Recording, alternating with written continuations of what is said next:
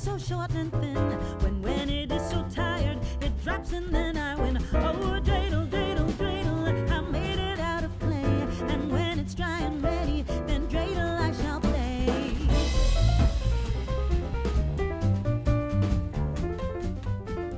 Hello everybody and welcome to my channel. My name is Penapple and today I am building a Hanukkah themed house. If you're interested in this build you can download it off of the gallery. My origin ID is Penapple YT. I will be leaving both um, the snow mod version of this um, and the CC free version on the gallery. That way, you know, maybe a little bit easier for you guys to find. Um, so, yeah, I would just like to start off uh, with a little disclaimer that I am not Jewish. Um, I'm not culturally Jewish. I'm not religiously Jewish. Uh, I just, you know, kind of wanted to do a build. Um, just because December can get to be such a Christmas centric month. You know, it's kind of like December 1st hits and then the world is Christmas. And and it's a little weird. And I did a build like this last year and I got a lot of really positive feedback and I've I still get I've still been getting some like recent feedback like just last week on that build of people being really pleased to see um, their religion and their culture represented, uh, especially in this time of year where it's just kind of like Christmas everywhere. Um, I'm also not Christian. I'm basically agnostic, leaning towards atheist, I think. I don't know. I don't really focus on it. Yeah, for me, I just feel like all religions are valid. And so, yeah, there we go.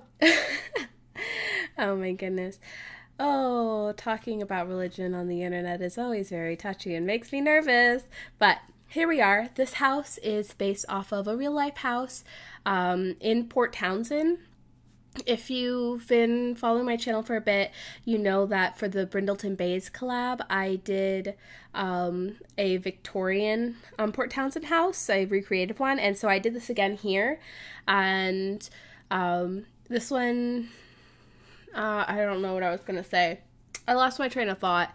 Excuse me, I'm a little bit ill, which is hilarious because last year when I recorded that Hanukkah build, I was also like recovering from a cold. And so now I just feel like, for all intents and purposes, like to the internet, I'm just perpetually ill. Like I've just, I always have a cold, apparently. I don't, like, but that's what it seems like.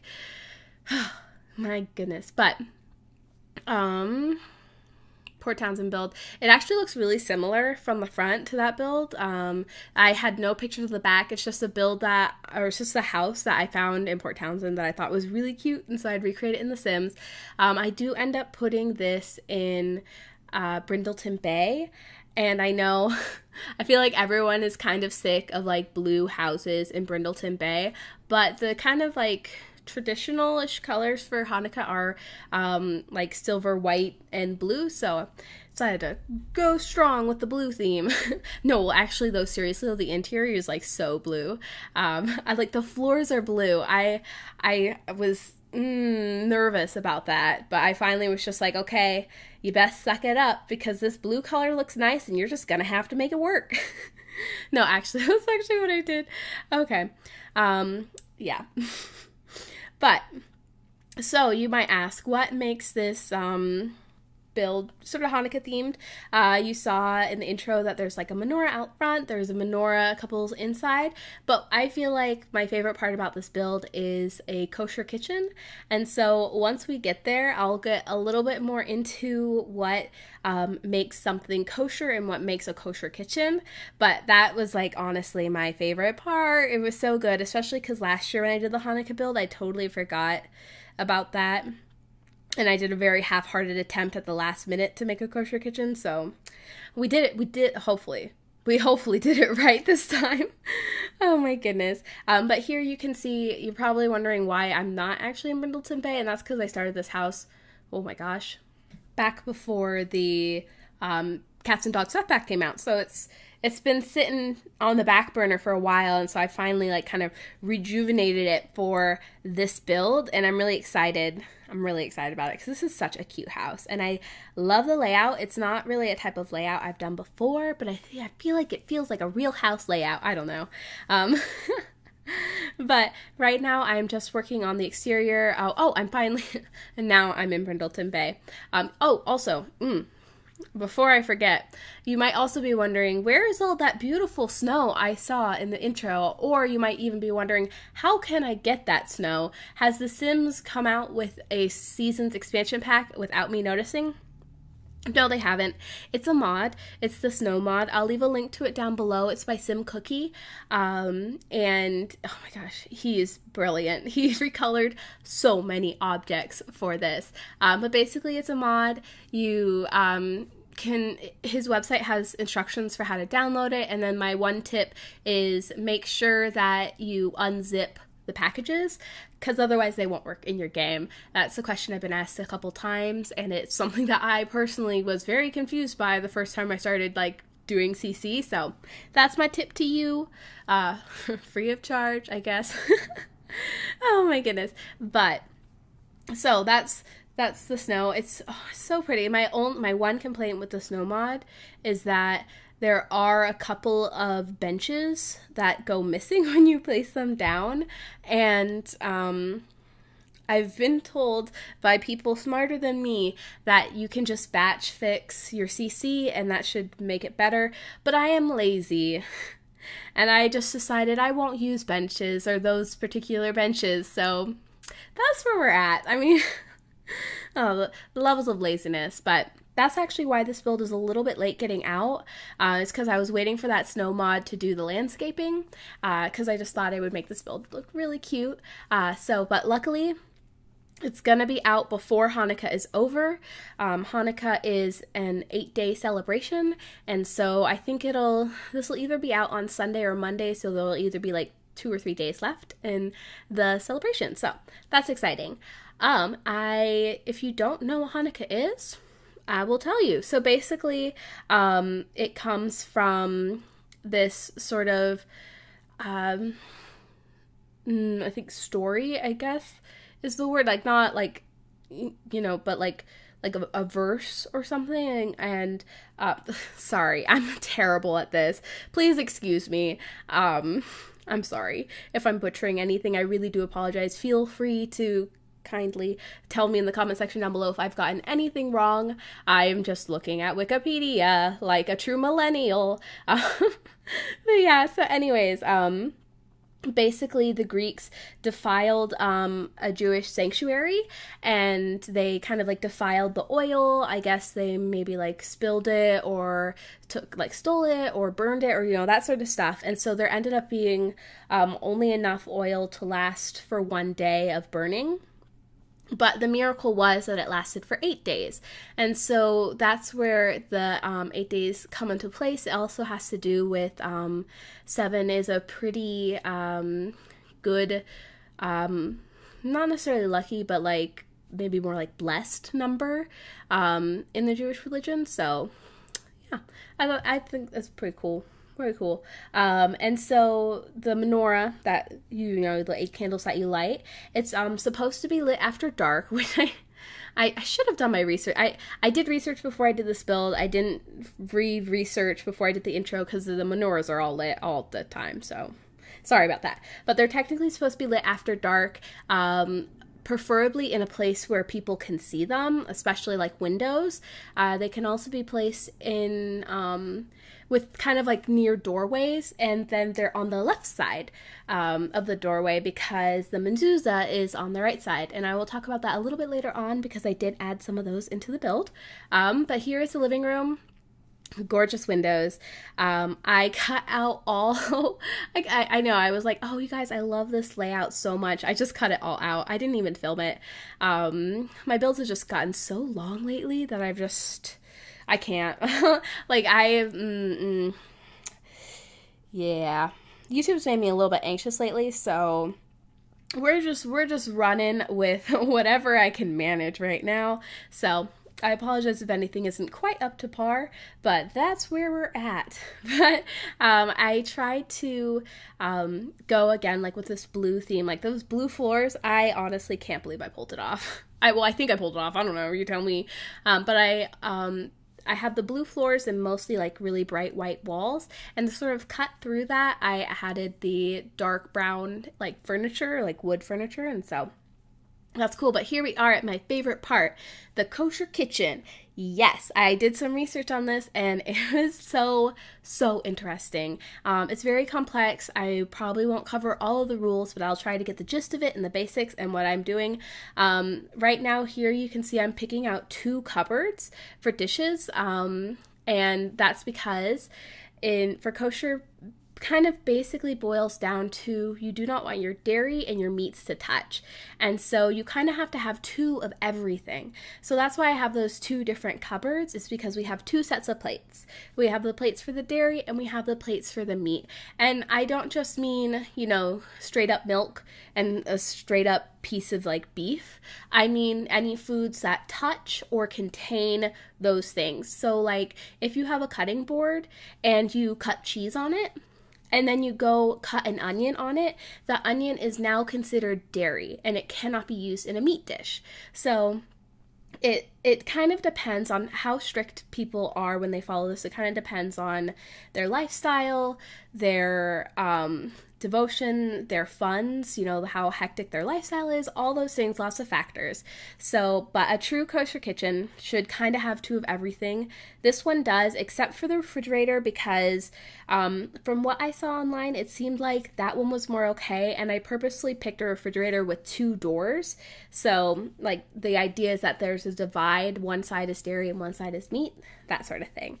But um, to kind of make the distinction you know more visible they will often um, color code things and it's not usually like two different like cabinet types. Usually it's like little labels but i you know we don't really have little labels so i separated out you know the cabinet and the counter so they're completely different. Um, kind of still following the same color scheme but we have two stoves and we have two dishwashers and we have two sinks. And the sinks are stainless steel because that i think is maybe not the only metal, but it's like the easiest metal to kosher. And when I say to kosher, it's to kind of, it's like a special cleaning process. I think it involves salt. Maybe don't quote me on any of this, but especially not on that. Um, but yeah, so I kind of tried to pick a stainless steel um, sink. And so if you don't like, um, some people will cook kosher and they will only have, you know, one stove or one dishwasher. And so a lot of people will have one stove and they'll be like, okay, I have an oven, you know, stove combo. This is pretty expensive. I can't afford a second one, so I'm going to get a portable burner and I'll cook my dairy on that. Um, or some people think it's okay to cook even at the same time dairy and meat on the same stove if you keep them as separated as possible and you're not allowed to open both lids at the same time because um, there's potential for cross contamination there. So it really all just depends on the person and how you know strict they are. But I just I found it so fascinating, honestly. Like it's it was so interesting to me. Um, and I just really enjoyed learning about that. So I thought I would share that all with you guys. Um, yeah. um, so yeah, here are those two cabinets, like I said. Um, and I had I, I spent a lot of time trying to pick them out because I I really wish we just had like um, for some of the swatches the dishes change colors, but not for all of them. So I didn't. I wanted the difference to be obvious. So, anyways, whew, that was a really long talk that's where we're at. um, some of the things that kind of also make Hanukkah Hanukkah is like the sort of tradition of eating oil based foods like um, latkes and also the, like the dreidel game, like the song. It's like the dreidel game, it's basically just like a gambling game. Um, I think, yeah. And you use dreidels and it's, I've never played it, but you know pretty fun. So from here on out, um, oh, except for the mezuzahs, everything else is pretty like standard. Um, also, by the way, I don't think that all Jewish homes have this color scheme. Uh, this was just like purely like, oh, we're going all out here. kind of like how like, you know, I made a Christmas home and like not everyone who celebrates Christmas has a red and green home all the time every day. That would be well, some people do. Some people are so into Christmas. I've never quite understood that. Like, they're like really into Christmas. I'm more of the I still have my Halloween decorations up, guys. It's December 17th. Um uh yeah. Uh yeah, but anyways, one of the weird things I've noticed in my builds is remember how a while back I talked about how creepy I find those cat and dog like giant stuffed animals?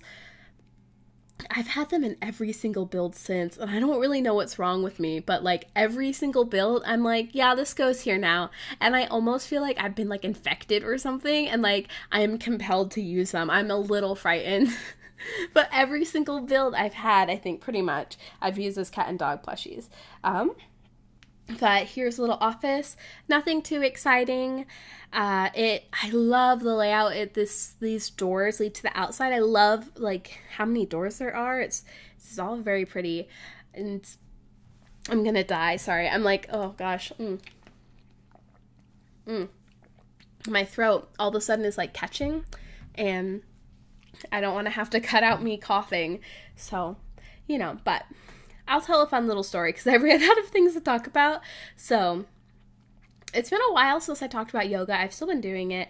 Um, I had a fun moment. By fun, I mean incredibly awkward, where um, I went to a class on like in the evening. It was a seven fifteen at night class, and I had never been to that class before. I'd never been to that studio. I, I had been to the studio, but not at like in that evening time. Only ever in the morning, and so I show up at seven o'clock, and the whole studio is dark.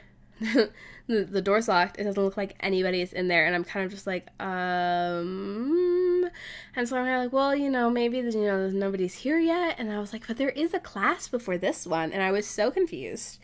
And so I just kind of stood there and I waited and I kind of waited and you know, I looked, you know, and I was kind of waiting for somebody to come and like open the door. And then finally somebody does come. She walks right past me, walks right through the open door into a room full of 12 people and it's all very well lit and there is no other entrance in the studio and i was just like where did all these people come from oh my gosh. And then I realized that they were all in final Shavasana, which is um, the very end. You kind of like lie down and kind of relax after like the practice. And so it was just really jarring to like be standing outside of a room with nobody in it with only one entrance and then when you turn around there's like 17 people it's like where did they all come from oh my gosh also, speaking of tons of people, my boyfriend and I went out to eat and we went to this like it's just like a little Thai restaurant, kind of your mom and pop style. There's some you know like ten tables in there, you know, and all the tables are pretty small. Like the most they can see is six people, and that's pushing it, like really pushing it. And so when we go in, there's only one other group of people eating in this restaurant, and there's only one waiter. There's only one waiter, and so we sit down. You know, we order. We, we you know start to get ready, and then all of a sudden, like a horde, like an actual like horde of people. It was 11, 11 adolescent girls just like came in as one group 11 people and you should have seen i wish you guys could see the waiter's eyes because his eyes went so big and he was just like what am I going to do?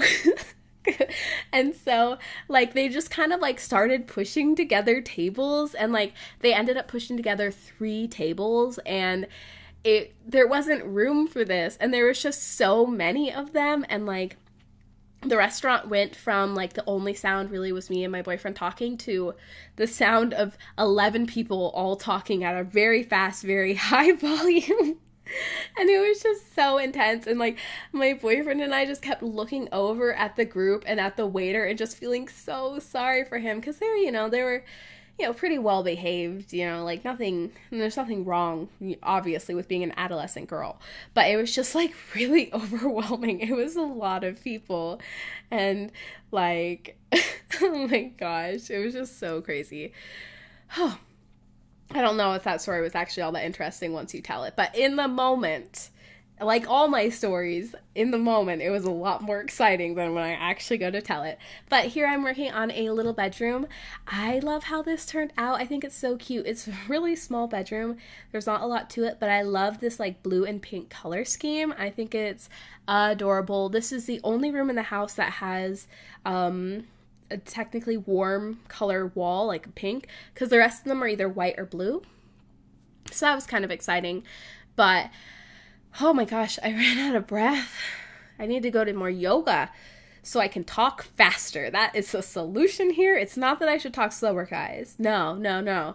I need endurance training. I need to talk faster. I need to say more words, and they need to all be even more irrelevant to the build. That is the goal. oh my gosh. But yeah.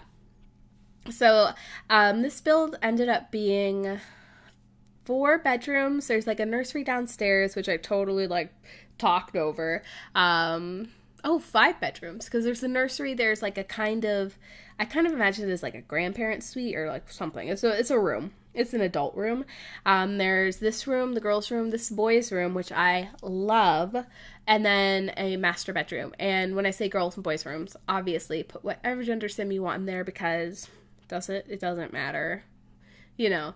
Anyways, but I love how kind of traditionally masculine I made this build like this room feel even though the like floors are a baby blue and the windows or the windows the walls are like white I like really kind of darkened it up and I added that camouflage in there and I just oh this room I feel like it looks like it came out of PB Teen Pottery Barn Teen very like like purposefully staged and like nobody has a room like this but it just looks so nice. Oh my gosh. You know what i realized the other not the other day you know what i realized like a couple hours earlier honestly? As i was editing this um i was kind of you know stuff but as i was editing i realized that my like tactic for interior design and layout is basically i take a room and I just line the walls with stuff. Like, you know, like here, it's just like a, a circle, and then I leave the middle blank.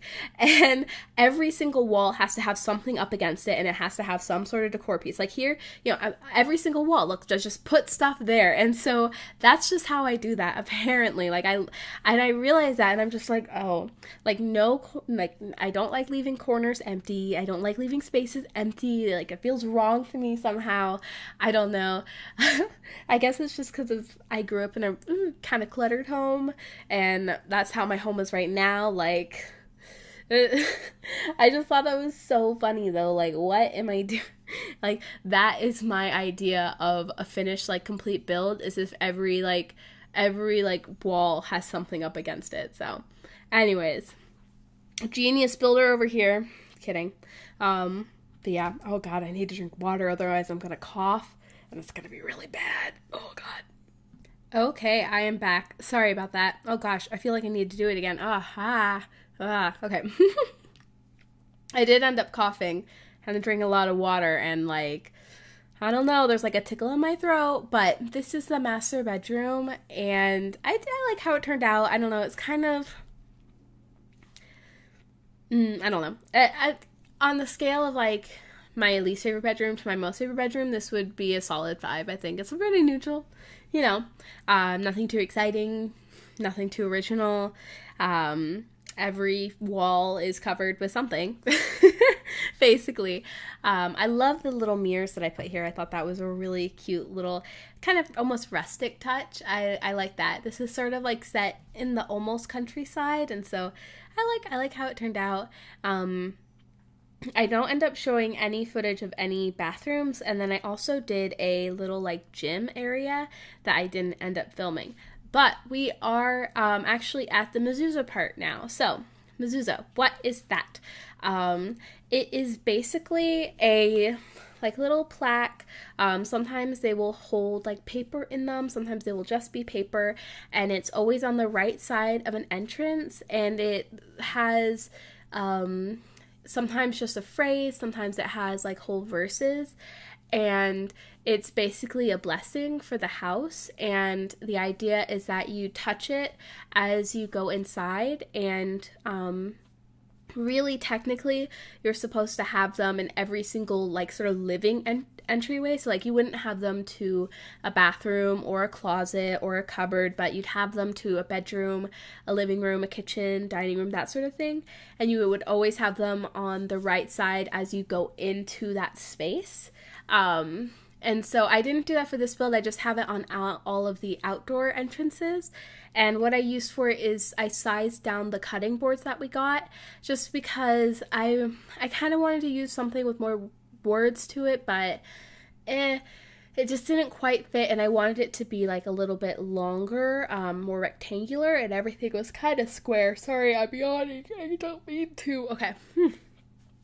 But you can see here I'm decorating. Um, I mostly just use all these snowflakes and the snowflake lights. We don't have a huge amount of Hanukkah themed things. We only have two. Um, we I think we, yeah we have the menorah and we have the dreidel garland. So I wish we had more stuff, honestly. But you know it is pretty Christmas he- heavy. And this year we got an update to the holiday pack and we got just Christmas stuff, really. It's like Christmas in Australia type stuff, which is also cool and fun. And I will be doing, uh, I'm pretty sure I will be doing a build using those objects and it'll be fun, you know. But, you know, it's, yeah. I'm just the complainer. I would, honestly, the Sims team could like buy me the entire like everything like all of the sub packs, all the game packs, or refund me for them, and I would still complain because I just that's just me. But here I am starting on the landscaping. You can see the snow mod is finally in effect. I love how this turned out. Um, some of the plants I used aren't affected by the snow mod. Those are ones that we got in um, like game packs or stuff packs. Um, and so you know, and so I kind of tried to cover up because I will I love these blue flowers. And I you know the snow mod there's no flowers because that makes sense because it's winter so no flowers. But because I have flowers in a different color I basically tried to cover up how green the base was. And I was like I'm gonna use flowers anyways because I want blue. But yeah. Oh my gosh.